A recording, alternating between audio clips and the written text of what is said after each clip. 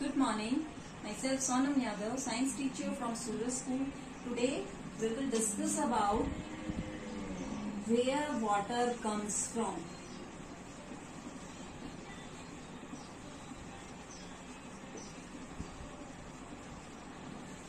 पानी कहाँ से आता है आपको पता है हमारी पृथ्वी पे हमारे अर्थ पे लॉट ऑफ़ वाटर प्रेजेंट है बहुत सारा प्रेजेंट है जैसे कि ये ओशियंस में भी है रिवर्स में भी है लेक्स में भी है लेकिन जो ओशियन का पानी है, वो कैसा होता है? सॉल्टी होता है, नमकीन होता है। ओशियन वाटर इज़ सॉल्टी नमकीन होता है, इसलिए जो यूजेबल वाटर है, वो बहुत कम अमाउंट में प्रेजेंट होता है। हम इस वाटर को यूज़ नहीं कर सकते। यूजेबल वाटर प्रेजेंट होता है हमारे रिवर्स में लेक्स में पॉन्ड्स में।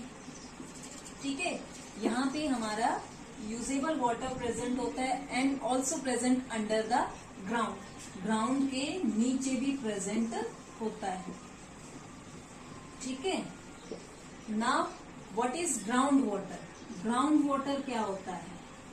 The water that is present below the ground is called ground ground water ठीक है? अंडर द जो पानी हमारे ज़मीन के नीचे से आता है, उसको हम ग्राउंड वाटर बोलते हैं और ये पानी ज़मीन के नीचे कैसे जाता है? जब बारिश होती है तो कुछ पानी रिवर्स लेक्स में जाता है और कुछ सीप होके रिस्क के हमारी ग्राउंड के अंदर, ज़मीन के नीचे चला जाता है। हमारी मिट्टी उसको सोख लेती है।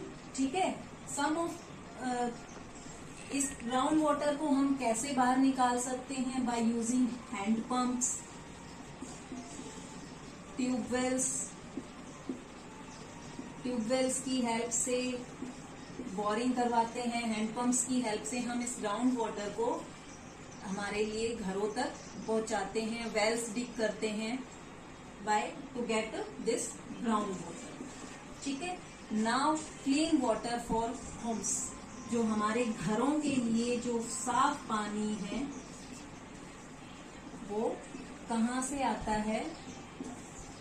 जो रिवर्स है या वाटर को हम रिवर या लेक से लेके आते हैं पंप आउट करते हैं। ठीक है? रिवर या लेक का पानी है यहाँ पे। उसको हम टैंक में डालते हैं फ़िल्टर करते हैं। फ़िल्टर में क्या होता है, सबसे ऊपर स्टोन्स प्रेजेंट होते हैं और नीचे यहाँ पे मिट्टी प्रेजेंट होती है। और जब ये वाटर इसके अंदर ट्रांसफ़र होता है तो ये थोड़ा थोड़ा रिस रिस के नीचे निकलता जाता है। देन इसको एक अलग स्टोरेज टैंक में हम ट्रांसफ़र करते हैं। ठीक है?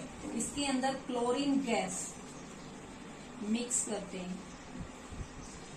क्लोरीन गैस ऐड करते हैं then this water is transported to our homes हमारे घरों तक पहुंचाते हैं थ्रू लार्ज पाइप्स बड़ी बड़ी पाइप्स के थ्रू इस वाटर को हमारे घरों तक पहुंचाते हैं। दूसरा, हम वाटर को क्लीन वाटर कैसे कर सकते हैं? बाय बॉइलिंग बॉइलिंग की हेल्प से हम पानी को साफ़ कर सकते हैं।